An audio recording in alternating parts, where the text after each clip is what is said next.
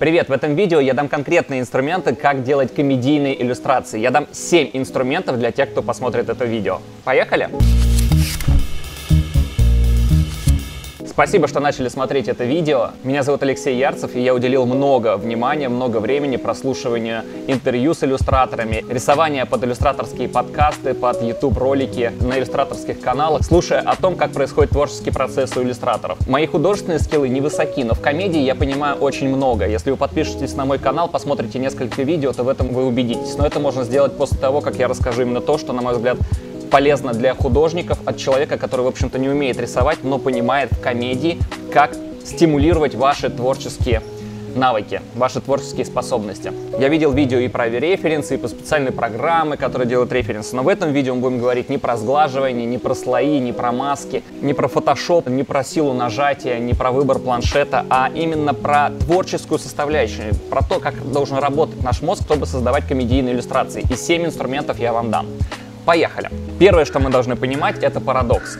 Парадокс связан с тем, как человек в принципе воспринимает реальность. Наш мозг всегда цепляется, когда мы видим столкновение противоположностей. Спорт весь построен на этом. Матч одной команды против другой — это столкновение противоположностей. И чем более они разную технику, тактику исповедуют, тем нам интереснее посмотреть этот матч. Посмотрим, как это работает в иллюстрации. Например, вот эта иллюстрация. Она построена на парадоксе. Для того, чтобы более четко контролировать парадокс, для того, чтобы вы как иллюстратор могли его более конкретно им владеть этим инструментом, вы можете раскладывать картинку на два противоположных антонимичных прилагательных. Допустим, эту картинку можно разложить на милый и агрессивный.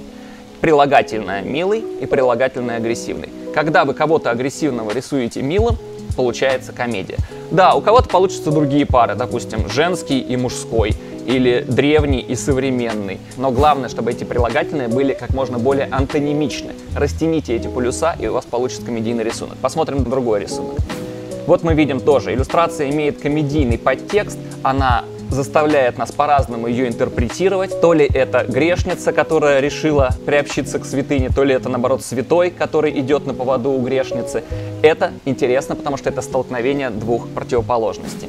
В этой картинке, опять же, мы видим Девочка занимается мужским видом спорта. У нее подчеркнуты детские черты лица, по-моему, это называется чиби, поправьте меня в комментариях, если я ошибаюсь. И она занимается чем-то агрессивным. Опять же, милая и агрессивная. Это часто используется в иллюстрации. Именно это сочетание, это простой способ создать комедийную иллюстрацию, спровоцировать свое сознание, сделать что-то интересное со своим персонажем. То есть, если у вас уже есть персонаж, какой-то любимый, которого вы рисуете, напишите про него одно прилагательное, чем он славится. Он какой? Допустим, Человек-паук, он гибкий. Тогда нам нужно его сделать каким-то закостеневшим. Допустим, замороженный Человек-паук. Или Человек-паук в гипсе. Таким образом вы стимулируете свое творческое мышление и создаете интересный концепт. Опять же здесь, на этой картинке, если бы дьявол атаковал ангела, мы бы не увидели ничего странного. Но ангел, который держит за горло дьяволенка, это, очевидно, какая-то шутка. В этой картинке, опять же, мы видим здоровенный амбал, который на две головы выше девчонки, она его не боится, она смотрит ему в глаза дерзко. Испуганный и храбрый, и эта противоположность создает картинку комедийной. Халк здесь не ведет себя странно, он здесь играет роль абсолютно обычную. Как мы можем сделать эту картинку еще более комедийной? Мы можем сделать Халка испуганного. И тогда эта картинка приобретет совершенно комедийное видение. Мы продолжаем разбирать инструмент парадокс. Опять же, мальчик говорит, красота какая, на абсолютное уродство. Красивый и уродливый. Эта картинка, в общем-то, не имеет комедийного подтекста, но, согласитесь, она тоже цепляет. Мы видим, что это какое-то необычное решение автора, что-то интересное он предлагал. Есть разночтение, можно по-разному интерпретировать картинку. И то, что заставляет наш мозг интерпретировать то, что мы видим, цепляет нас сильнее, чем банальности. Что здесь разно? Огромный и маленький. То есть человек обычно гораздо больше любого насекомого, а тут насекомое огромное. Огромный и маленький — это антонимы. Как только мы изменили соотношение сил, картинка приобрела драматический, конфликтный вид, а значит, сильнее цепляет зрителя. Эта картинка цепляет нас потому, что дьявол должен быть злым, агрессивным, сильным, а здесь он какой-то миловидный. И это делает картинку, пусть эта иллюстрация имеет абсолютно практическое, утилитарное значение, возможно, просто поставили задачу, нарисуйте нам 7 смертных грехов с дьяволом. И вот э, художник решил ее так. Он добавил в нее парадокса. И таким образом эта картинка интереснее, чем если бы все это делал обычный злой дьявол. Вот уже политическое, с оттенком политическим, потому что речь идет о взаимоотношениях стран. Сколько парадоксов мы здесь увидим? Наверное, вы можете много их насчитать. Если у вас есть какие-то идеи, то напишите об этом в комментариях. У этой картинки какие антонимы вы видите? Почему эта картинка претендует на то, чтобы быть комедийной? Это не обязательно она должна рассмешить вас, не обязательно она должна вам нравиться, но вы, как творческий человек, должны понимать замысел других авторов. Он может показаться вам банальным, но вы должны его уметь детерминировать, то есть объяснять причины, которые привели автора к вот такому художественному решению. С первым инструментом все, и если вы готовы, если вы заинтересовались, если вам интересно, что будет дальше, потому что впереди еще 6 инструментов, то поставьте лайк сейчас под этим видео. Мне будет понятно, что я поработал не зря, и что, возможно, имеет смысл чуть больше углубиться в эту тему, чтобы создать для вас еще что-то более ценное. Каламбуры. В первом приближении люди часто упрощают ситуацию, ну, когда они не погружаются профессионально в этот вопрос, как я. Они говорят, что каламбур — игра слов. Но это мало что объясняет. Играть словами можно очень по-разному. Мы будем объяснять каламбур как двойной смысл слов. То есть, когда у одного и того же по звучанию слова, допустим, как на этой картинке ячмень, есть два разных смысла. Это и растение, это и болезнь. Как только вы их совмещаете, как только вы становитесь на позицию, ну, типа, как будто бы я не знал, что это разные вещи я думал, что вы в том смысле ячмень имели в виду, то у вас может родиться комедийная идея. С каламбурами все сложно, потому что чаще всего они уже все пробиты до вас, уже пошучено-перешучено, но кто вам запрещает на них учиться и тренироваться, оттачивать свое главное комедийное сознание. Помимо того, что мы должны оттачивать руку, мы должны оттачивать голову. Потому что я, например, недавно смотрел видео по UX-дизайну, и там лектор сказал, что это очень важно для дизайнеров. Если вы с ним согласны, то напишите об этом в комментариях. Из софт-скиллов, э, соответственно, это сопутствующие скиллы, которые, в принципе, у вас могут не быть, но их наличие может значительно улучшить вашу карьеру и жизнь. Это история, естественно, создания презентации, как вы это упаковываете, как вы можете это продать. И там немаловажная составляющая роль – это ваши коммуникационные навыки. То есть, что вы имеете возможности, силы приехать э, к заказчику, а, приехать лично, адекватно с ним говорить, говорить, естественно, на человеческом языке, э, входить с ним в правильный контакт, это значит, что не дрожащими руками, а, а с улыбкой, с, такой замечательной прической, как вот сегодня у Максима, а, с такими же замечательными шутками, как у Максима были в самом Господи, начале. У меня как будто бы день рождения сегодня. Ты раскрыл секрет. Да, вот э, если у вас есть такой коммуникационный навык, это является дополнительным очень сильным плюсом э, в вашей карьере и развитии. Я, в принципе, с ним согласен. Как э, заказчик, мне тоже хочется видеть более творческих исполнителей. Посмотрим следующую картинку. Че как неудачники? Придурки вы такие уродливые. Ай, что случилось? У меня очень чувствительные зубы. Мы видим, что на этой картинке двойной смысл у слова чувствительные. Чувствительные в плане sensitive, то есть чувствуют изменения температуры, и чувствительные в эмоциональном плане, то есть которых легко обидеть. Эти два смысла соединены, и мы получаем вот такую картинку. Примитивная мысль? Да, примитивная, но не в плохом контексте. То есть она простая, но просто не значит плохо. Иногда гениальная простота бывает. Опять же, вот, ну как он? По-прежнему в коме. Какое слово обкаламбурено? Слово ком. Еще одна картинка иллюстрации. Как вы видите, для того, чтобы зацепить внимание зрителя, не обязательно хорошо рисовать. Но если вы еще и хорошо рисуете, то это усиляет ваш, ваше влияние на вашу аудиторию. И охват, естественно. Иранцы обогащают уран. Какое слово обкаламбурено? Слово обогащают. Обогащают не с термоядерной точки зрения, а обогащают с точки зрения богатства денежного. Ну и сделали вот такую визуализацию. Извини, обещал ей кинуть песню на стену. Кинуть песню на стену. Опять же, очень простой рисунок, очень простая графика, которая доступна, я думаю, большинству из вас, если вы иллюстраторы. Но комедийная идея делает эту картинку особенной. На английском языке cover me. Любопытно, да, что это слово, хотя звучит совершенно по-другому в русском языке, но точно так же каламбурится. То есть «прикрой меня». Полицейский говорит «прикрой меня», и его напарник его прикрывает. По-моему, весьма забавно, необычно. Опять же на английском языке. Не могла бы ты присоединиться ко мне в ballroom. По-русски этот каламбур не переводится, да, потому что в бальном зале. Ballroom на английском языке это комната шаров. И они отправляются в комнату шаров, как мы видим в этой визуализации. На русский язык это перевести, наверное, трудно. Но если вы можете, то сделайте свою картинку, будет очень интересно посмотреть. Не так давно я участвовал в марафоне по скрайбингу, и там было большое количество иллюстраторов, которые попросили дать им задание. И мне пришло в голову, у меня был очень старый каламбур, который я использовал еще где-то в 2009 году, имевший успех. Ну, очень простая шутка, но публике она понравилась. Говорил о том, что любовь сильнее смерти, и значит любовь должна быть физически сильнее смерти и должна ее избивать. У меня были какие-то рисунки на этот час, гораздо более уродливые, и вот иллюстраторы сделали, на мой взгляд, очень приятную иллюстрацию. Да, она сделана в традишке, но кто мешает вам ее оцифровать? Это второй инструмент, второй инструмент каламбур. Напишите в комментариях под этим видео какие-нибудь каламбуры, которые вы бы хотели, чтобы кто-то нарисовал, а если вы художник, если вы иллюстратор, то можете уже в комментариях подцепить какую-то хорошую идею для себя. Мне будет очень приятно, если потом сбросите что-то, созданное вместе вот таким коллективным сознанием.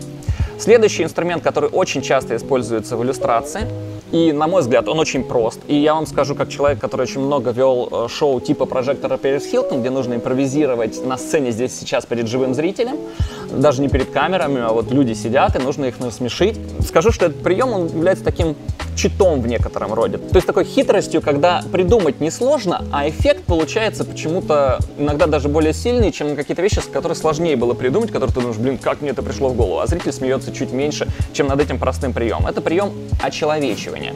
Он активно используется в стендапе. На курсе по стендапу мы об этом отдельно говорим. Если вы интересуетесь стендапом, то можете на этом канале посмотреть больше, либо в ссылках под этим видео перейти и посмотреть. Но сейчас мы говорим именно про то, как это интерпретировано в иллюстрации, что мы можем унести сегодня, здесь, сейчас, если вы иллюстратор, схватить, унести домой и дома использовать эту информацию для того, чтобы тренировать свой скилл, в том числе и скилл вашего иллюстраторского сознания. Очеловечивание. Когда вы придаете неживым объектам черты живых существ. Есть целый паблик ВКонтакте, я знаю про очеловечивание, наверняка и на Tumblr е, наверняка и на Pinterest е, и на ArtStation даже, может быть, есть какие-то теги по этому поводу, ну вот то, что я собирал именно комедийного. Допустим, вот эта иллюстрация мне очень нравится. Он просто не понимает меня, что значит для меня пройти через изменения. Опять же, мы видим, что два дерева абсолютно разных, скорее всего, они семья, и они абсолютно разные, как и в жизни у нас бывает. И в определенном возрасте они, с ними начинают происходить разные физиологические стадии. И вот они друг друга не понимают, потому что они разные. Мне кажется, это классная иллюстрация. Вот еще одна иллюстрация, которая имеет драматический э, контекст, совершенно не комедийный. Не мне вам рассказывать, что это за произведение. Если нас смотрят люди, не относящиеся к иллюстрации, то только им позволено не знать. Это Black Set. Это фантастически качественный графический роман, серия графических романов. Мы ждем следующую версию. Она продается в том числе и в России. Обязательно хотя бы полистайте ее в магазине Республика. Но если вы иллюстратор, то вы лучше меня знаете, что это. Опять же, что здесь очеловечено? Проблема расизма, и она перенесена на животных. Как бы выглядела у животных проблема расизма? Белые лучше других цветов. И вот мы видим, это, как это выглядит. Это выглядит очевидно комедийно, что во многом высмеивает сам расизм у людей, который кажется нам более драматичным, но атакует людей, которые этим к сожалению, пока что страдают. Следующая иллюстрация – очеловечить Москву или какой-то город, какую-то проблему вашего города нарисовать. Мне кажется, это может быть хорошим челленджем для вас, проблема моего города. Я видел пост, в котором были очеловечены самые крупные города России в анимешном стиле. Там Томск, Омск, Новосибирск, вот почему-то именно в Сибири аниме более популярно, наверное, потому что они ближе к азиатским странам. Вот еще один способ очеловечивания, когда какие-то проблемы, которые у нас никак не визуализируются, визуализированы в образе каких-то персонажей, которые сидят на заднем сидении в вашем автомобиле. Еще одна, мне кажется, замечательная иллюстрация. Она часто, когда я показываю, вызывает бурю эмоций в залах, когда я делаю это на широкой публике вживую. Хотя я, честно говоря, не ожидал большой реакции. Ну, мы разбираем, как работает юмор, мы же не смеяться пришли. Почему-то люди очень сильно реагируют на нее. Возможно, многим близка проблема ожирения. Мне кажется, эта картинка изобретательна. Опять же, просто очеловечивание. Как выглядит проблема похудения у таких вещей, как носители дисковые накопители. А как рождалась эта идея? Ну, вряд ли она рождалась из того, что человек думал, так, ну, на кого бы мне перенести проблему ожирения? Возможно, она рождалась из каламбура, что типа сбросить гигабайт, да, сбросить гигабайт другой, через слово сбросить. Мы сбрасываем вес и сбрасываем э, гигабайт информации. Может быть, через другой каламбур она рождалась, через каламбур сколько весит файл, да, опять же, весит файл, то есть сколько он э, вес как килограммы и вес в гигабайтах. Возможно, через это родилась данная иллюстрация. Может быть, у вас давно уже есть записочки, я вам рекомендую такие идеи записывать. Для тех, кто досмотрит это видео до конца, я поделюсь своими идеями, вы сможете забрать их, либо копите свои но я вам настоятельно рекомендую завести отдельный файл у вас в айфоне в заметках. Его можно, если вы слайданете его немножечко влево, то он закрепится булавкой и будет у вас наверху. Это я настоятельно рекомендую делать, потому что вот этот скроллинг, когда у вас пришла гениальная идея, он может выветрить идею. Это нюансы, но так как я работаю с творческими людьми уже много лет, они имеют значение. Заведите, запиньте это сверху и лупите туда все, что приходит в голову. И не надо оценить, плохая эта идея или хорошая. Вы потом сможете всегда ее не нарисовать. А если вы не умеете не рисовать, то вы сможете удалить этот файл или хотя бы не выкладывать его, если посчитаете его отстойным. Но записывайте все. Это стимулирует деятельность, поощряйте себя. Следующая иллюстрация. Не гони, никто нас не создавал. Мы случайно эволюционировали из снежинок. Блестящая, на мой взгляд, комедийная идея, подкалывающая креационистов. Мы не знаем, правы креационисты или неправы. Мы просто подкалываем их, чтобы им приходилось приводить более убедительные аргументы для убеждения нас. Пусть стараются. Мы продолжаем разбирать инструменты человечивания. Это уже третий инструмент для развития креативности у иллюстраторов. Ну вот такая проблема одноразовых свиданий, да, рассмотрено в этой картинке. На мой взгляд, тоже весьма изобретательно. Опять же, очеловечивание, то есть что, если бы у предметов были такие же проблемы, как у нас? Или у каких предметов могут быть такие же проблемы, как у нас? Вот пример очеловечивания блестящего. Серьезно? Отвалите уже. Солнце заходит, оно ложится спать, и в этот момент его чаще всего фотографируют. Все обожают закаты. Ну и паблик с очеловечиванием, про который я говорил в самом начале, просто хуманизация зубной щетки. Как мы видим, тут комедийного ничего в этом нету, но это очень хорошее упражнение как минимум, а как максимум вы можете сделать из этого целую серию рисунков, которые, скорее всего, спровоцируют повышенный интерес хотя бы на время к вашей персоне, а кто ж этого не любит, а? Ну если вы готовы, давайте двинемся, посмотрим еще один инструмент. Следующий инструмент, который не так очевиден, как остальные, до него труднее додуматься интуитивно, хотя, естественно, все инструменты, которые я показываю, это аналитика того, что уже существует, то есть это такая биология человеческого творчества. Мы не создаем лягушку, мы препарируем ту, которая уже перед нами есть, и разбираемся, как она устроена. Этот инструмент я называю инверсия, то есть когда вещи меняются местами. Он очень похож на очеловечивание, но разница есть. Разница именно в том, как работает наш мозг, создавая эту идею. А это для нас сейчас самое важное. Вот, допустим, у этого таракана люди в голове. То есть мы инвертируем фразу «у человека тараканы в голове», а что если бы у таракана в голове были люди? Вы можете сделать другую иллюстрацию на этот счет, где вы нарисуете таракана, а у него в голове будут люди. Здесь этой визуализации не видим, но она, естественно, напрашивается. Ждем, господа иллюстраторы. Давайте, давайте. Меч со штык-автоматом. Это одна из моих любимых. То есть мне это, мне это кажется очень э, забавным и смешным. Меч, к которому прикреплен маленький автоматик на случай мало ли что. Это забавная инверсия. Опять же, переставлены местами объекты. Братан, набей мне шлюху на пояснице. Тоже шутка. Поменены местами. Что она подкалывает, что в определенном периоде, возможно, молодое поколение иллюстраторов, среди них гораздо больше, чем в моем поколении было. Расскажу вам, детишки, что у нас такая была вот на 5 лет нас старше, 80-го, 75-го года рождения. Девушки, любившие ночную жизнь, нередко набивались и на пояснице какую-нибудь татуировку, и чаще всего это была бабочка. Это стало некоторым мемом. Сейчас он не так популярен, но, может быть, отголоски его вы встречали. Вот еще. Какой толстенький уютный дядька, да? Что если бы коты разглядывали тех, кто разглядывает их в интернете? Следующая картинка. Опять же, say people, то есть вместо cheese, сыр, когда фоткается на семейной фотографии, говорит люди. Легко спутать с очеловечиванием, обратите внимание, но это инверсии, то есть поменены местами проблемы. А в параллельной вселенной, опять же, мы подставляем заячьи уши, значит, зайцы должны подставлять человеческие уши. Вот почему это инверсия, а не очеловечивание, хотя очень похоже. Или вот, приглашаю тебя в человеконарий. То есть дельфины ходят в человеконарий. Замечательно. Это еще один инструмент, это четвертый инструмент, который я вам обещал, и впереди у нас еще три. Двигаемся дальше, и следующий инструмент это гипербола. Гипербола это преувеличение, это попытка зайти за грань, зайти за грань абсурда, то есть дойти до крайности. Если вы рисуете сильного персонажа, нарисуйте его гиперсильным. Так, например, появился Халк, скорее всего, то есть пытались э, нарисовать супергероя, который супер сильный именно, то есть у него нет никаких других свойств. Какой-то супер гибкий, да, у которого там резиновые руки, кто-то другой супер умный, да, как профессор Ксавьер. А нас интересуют вот подобные, да, дети, да, летят года, я ведь помню у вас еще девочка с персиками. То есть мы берем девочку с персиками и гиперболизируем ее, что с ней будет дальше, доводим ее и персики, и девочку до возраста бабушки. Смотрим, что с ней происходит. Вот еще одна гипербола. Я видел точно такие же с бровями. Здесь с губами. Наверняка к тому моменту, когда это видео выйдет на канале, женщины будут увеличивать себе что-то еще, и мы увидим новые мемасики на этот счет. Может быть, вы будете автором этого мемасика. Как только почувствуете тренд на то, что женщины начали себе увеличивать что-то новое, или, не знаю, уменьшать, может быть, ноздри начнут уменьшать, неизвестно, подхватывайте его и сделайте вот такой мемасито. Опять же мы видим гиперболу, да, нам прям ряд построен четырьмя картинками. Тоже ряд построен, мы видим, что вот человек все время сгибался, интересовался чем-то все меньшим и меньшим. Очень простая идея, но становится комедийной за счет того, что человек грамотно использовал гиперболу. Вот, гипербола кислоты, то есть кислая настолько, что лицо становится маленьким, сжимается в одну точку. Или вот такая гипербола, которая мне очень нравится. То есть уборщица настолько тщательно все убрала, что даже на картинах навела порядок. На картинах абстрактной живописи.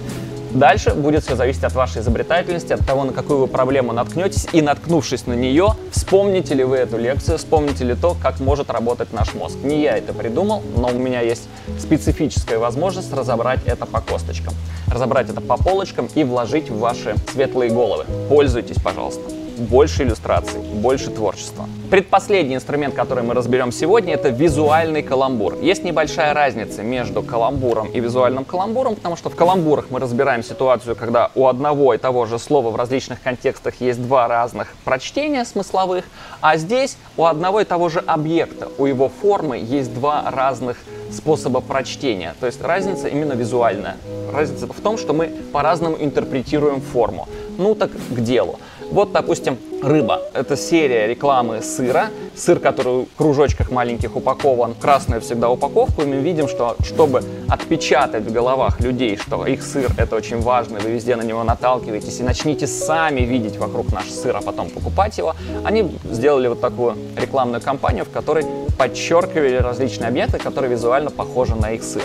Следующий рисунок, опять же, Найстан. Это опять же очень похоже на человечивание, но мы видим, что здесь визуальная схожесть. Загорелый и тот, и тот объект по-разному интерпретируется. Этот жареный в тостере, а тот загоревший на солнце.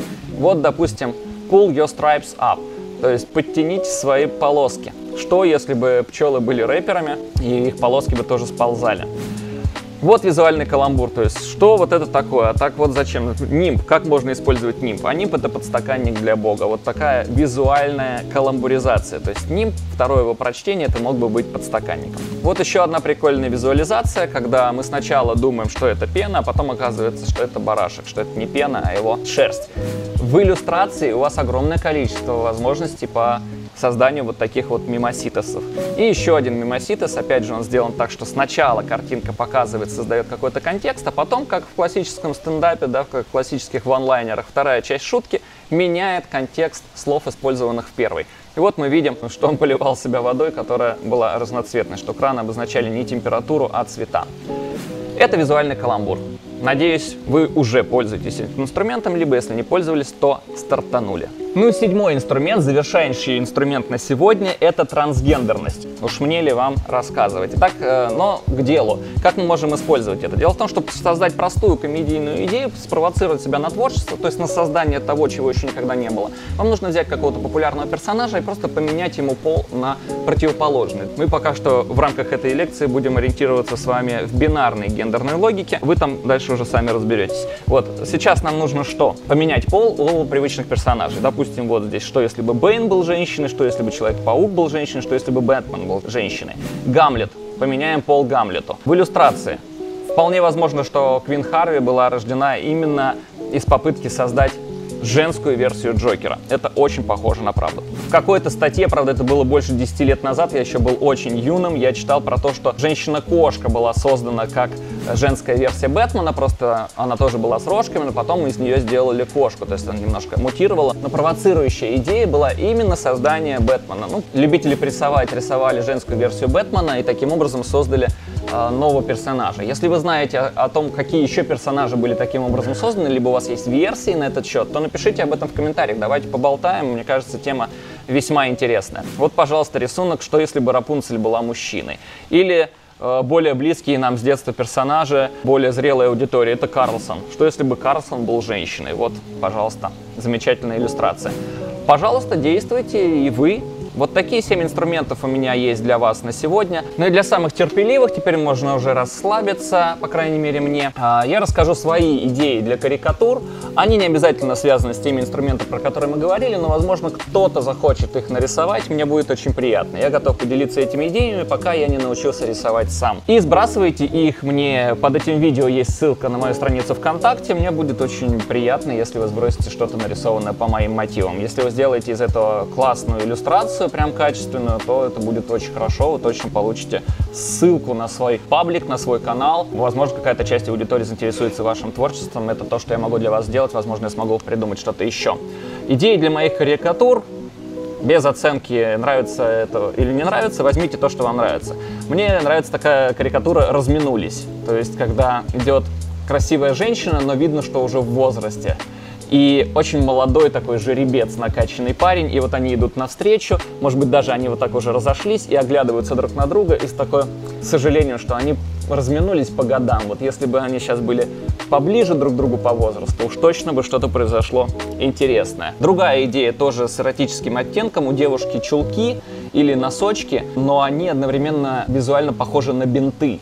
Возможно, она подтягивает чулочек, но мы видим, что эта нога забинтована. Подтягивает гипсик, может быть. Это уже зависит от того, как вы это сможете реализовать. Следующая идея. Третье. Подходит официант к двум девушкам, которые сидят в ресторане за столиком, и шлепает одну из них по попке. Она возмущенно на него смотрит во второй иллюстрации. И он ей говорит, что этот шлепок по попке вам вот от того столика. Передали, мол. А мне кажется, тоже да, весьма забавно. Следующая идея, опять же, с неприкрытым эротизмом, но это для тех, кто понимает, о чем я говорю. А, девушка трется об банкомат, как стриптизерша о мужика или шест. То есть стоит банкомат, она почему там забыла пин-код, допустим, да, и трется об него стриптизерским методом. Мне кажется, что это может быть очень хорошей иллюстрацией, если вы умеете красиво рисовать стриптизерш. А я думаю, что многие в этом практикуются. Пятая идея и может иметь множество различных решений, тут больше свободы. Девушка держит руки как весы, и сравнивает какие-то две вещи. Может быть, она сравнивает Facebook и ВКонтакте, может быть, она сравнивает Tumblr и ArtStation, может быть, она сравнивает деньги и сердце у нее здесь на другой руке. Главное, чтобы ее руки были похожи на весы. Можно еще завязать ей глаза, как у богини правосудия, вам в руки карты. Шестая идея. Эти идеи уже я писал скорее для кино, то есть они, возможно, будут читаться только в определенном контексте, но я думаю, что вы поймете, разберетесь и сделаете из этого шедевр. Герой едет в метро, в вагоне метро, он о чем-то мыслит, у него какая-то проблема глобальная, задается какими-то вопросами, и ответ приезжает как название станции.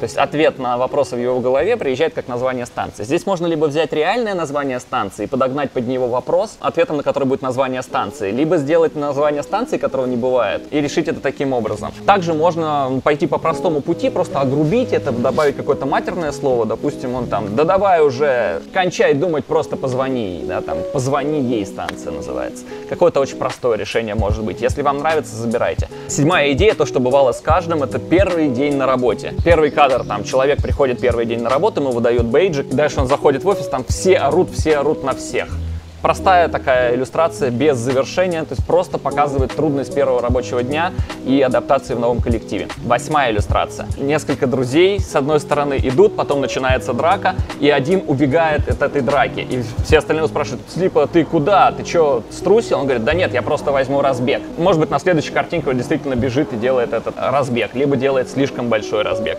Это уже зависит от того, что вам кажется более комедийным, более интересным. Следующая картинка с ярким порнографическим подтекстом. Допустим, концерт какой-то суперзвезды, на ваше усмотрение, что популярно в данный момент, когда вы смотрите это видео, какой-то звезды мужской, которая вот очень считается очень сексуальным у женщин.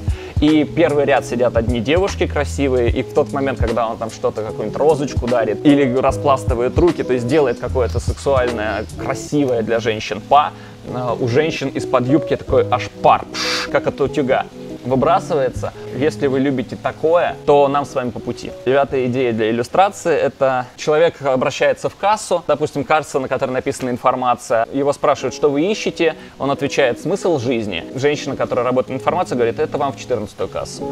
Мне кажется, что это может иметь определенный мимический успех. Давайте попробуем. Десятая комедийная идея. Ресторан собираются друзья, сидят за одним столом, и все разговаривают по телефону. Очень громко, оживленно, там смеются, хохочут. Следующий кадр, они заканчивают все разговор, кладут телефоны и молчат, потому что им не о чем поговорить друг с другом. Это типично для людей старше 30, Попробуйте это нарисовать. Молодежь, сделайте для нас что-нибудь. Следующее, одиннадцатое. Футбол глазами женщин. То есть то, как видит женщины футбол. Единственная проблема, что мне кажется, что такая иллюстрация уже вышла. То есть когда я записал идею, я этого еще никогда не видел, но, по-моему, где-то я уже ее встречал. Если вы не встречали и она вам нравится, то давайте сделаем. Футбол глазами женщин. То есть женщины смотрят там матч с Криштиану Роналду и видят только вот эти вот глазки, как в японском стиле, допустим, со звездочками, там, какой у него торс, все остальное их мало интересует. Там красавчики с красавчиками бегают, толкаются, обнимаются. То есть какая-то иллюстрация, как видят мужчины футбол и как женщины видят футбол. Попробуйте на эту тему пофантазировать. Двенадцатая идея. Лекция. Тоже какой-то привлекательный мужчина рассказывает какую-то очень сложную лекцию про квантовую физику. Девочка что-то очень внимательно записывает, записывает, записывает. Потом мы видим, что она записывает. У нее вся тетрадка в членах. Вот, если вам такое близко, то давайте сделаем. Очень простая, один кадр по трансгендерности, просто берем водительница грузовика, что если бы женщина водила грузовик, какие бы у нее были татуировки, пофантазируйте, что бы было у нее на постере, или там, что у нее было бы нарисовано на машине, там обычно у всех голые женщины, у нее может быть там голый мужчина или что-то в таком духе. Попробуйте на этот счет пофантазировать. А, следующая иллюстрация. Я уже сбился со счета, поэтому просто следующая иллюстрация. Женщина, которая избивает шпиона, который ее фотографировал, из-под тяжка, она его увидела, избивает, но не за то, что он за ней шпионил, а за то, что он фоткал ее не накрашенной. Или может быть другое решение. Шпион шпионит за женщиной, она его видит, она за ним гонится, догоняет его. И в тот момент, когда она его схватила, она говорит, так, покажи, и фотоаппарат говорит, удали, удали, удали. Не самая сильная идея, но, может быть, вы сможете ее развить, усилить. Девушка, которая, увидев на экране любимого героя, начинает прихорашиваться. Понятно, что он ее никак не видит, но она на всякий случай прихорашивается. Вот эта идея мне очень нравится, ее очень трудно реализовать в формате стендапа, потому что тут очень важна визуализация, но ее можно сделать либо в кино, либо в иллюстрациях. Парень в гостях у друга подходит посмотреть фотографию. На фото огромная ростовая кукла обнимает девушку на пляже. То есть огромная ростовая кукла обнимает маленькую девочку на пляже. Говорит, это кто? Говорит, ну это моя сестра там из другой комнаты, допустим, кричит ему. Дальше берет другую фотку, и там эта же девочка и эта же ростовая кукла, но на горнолыжном курорте уже. То есть не на пляже, на горнолыжном курорте та же самая ростовая кукла. Спрашивает, а это что? Да это они с подругой ездили на лыжах кататься. Берет следующую фотку, и там обычная семейная фотка, где отец, мама, этот его друг, который кричал ему только что, и огромная ростовая кукла. Да, это мы в 2002 Таким образом мы выясняем, что огромная ростовая кукла и есть сестра этого парня. Мне кажется, это крейзи немножечко. А следующая иллюстрация, опять же, мне кажется, что я это где-то уже видел. Конференция обезьян по тому, как чистить бананы. То есть огромное количество обезьян, и все слушают лектора, который рассказывает, с какого конца нужно начинать чистить банан. Еще одна очень простая иллюстрация. Идет компания, мальчики, девочки, они все грустные, идут вдоль дороги. Мимо проезжает машина, из которой звучит их любимая музыка, какая-то, может быть, популярная на тот момент, когда вы смотрите это видео. И когда она проезжает мимо них, они же оживают, пляшут, машут руками, но когда она уезжает в следующем кадре, а машина проезжает, и они снова идут такие печальные, как будто бы ничего не случилось, как будто на секунду назад они не плясали. Еще одна прикольная идея. Мы ее рождали вместе с Лешей Красильниковым когда-то из его идей, что сверхсекретная лаборатория, человек приносит с собой глаз, проходит через один уровень. Глаз какого-то врага, который он выковырял, при, прикладывает его к сканеру, проходит через один уровень. Дальше отпечаток пальца. Он достает оторванный палец, прижимает его и проходит дальше. Дальше сидит бабушка и такой турникетик очень легкий. И бабушка говорит, что да, я все понимаю, вы идете захватывать и разрушать нашу корпорацию зла, но вам нужно обязательно зайти в отдел пропусков и получить пропуск. Следующая иллюстрация, которая тоже может, мне кажется, иметь сильный успех. Для тех, кто хорошо, классно рисует, как Ишмаев, э, девчонок, любят вот эти керви, подчеркивать всякие женские наши любимые изгибы. Очень, мне кажется, интересная эта идея. Девушка с вот этими вот шикарными формами, экскурсовод, ведет экскурсию, вокруг нее толпа туристов. Все смотрят не на Венеру Милосскую, которая должна быть на картинке чуть уступать ей по красоте, а все смотрят на нее, когда она рассказывает про идеал красоты.